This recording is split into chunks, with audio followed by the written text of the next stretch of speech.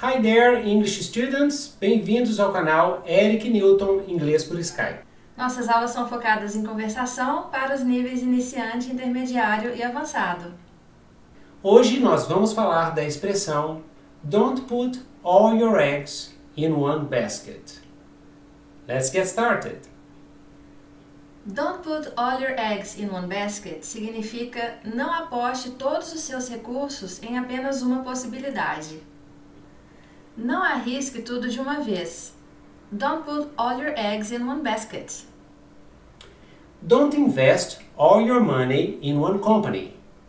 Never put all your eggs in one basket. Então não investa todo o seu dinheiro em uma companhia e não coloque o, os seus ovos né, em uma cesta só. Então não arrisque tudo de uma só vez. Terrific! Espero que tenha gostado da sua prática hoje. Ah, se você gostou do nosso vídeo, dê um like, se inscreva no nosso canal para mais videodicas de inglês. Para quem quiser aulas de inglês por Skype, entre em contato com a gente. Thanks for watching. Practice every day and until next time. Bye!